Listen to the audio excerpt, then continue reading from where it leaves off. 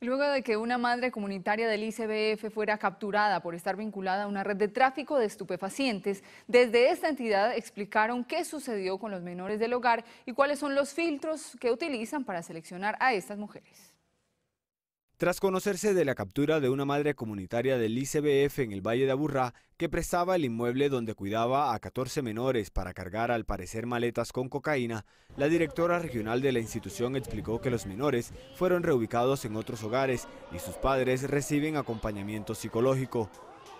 Recordemos que según la Fiscalía, la investigación que duró dos años dejó siete presuntos integrantes de la banda delincuencial La Unión capturados por tráfico de estupefacientes.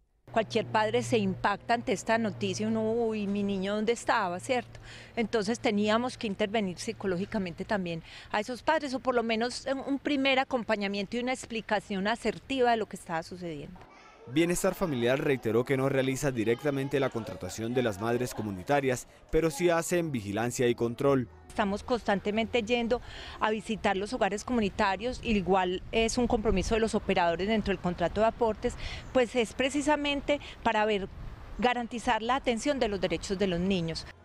Este no es el primer caso de cierre de un hogar comunitario en Antioquia. En lo corrido del año ya van seis establecimientos cerrados por maltrato infantil, incumplimiento de normas o retiro voluntario de las madres comunitarias. Porque alguno de los miembros de la familia, no la madre comunitaria, pero alguno de los miembros de la familia esté incurso en algún delito, entonces nosotros también, eso es una causal de, de cierre del hogar.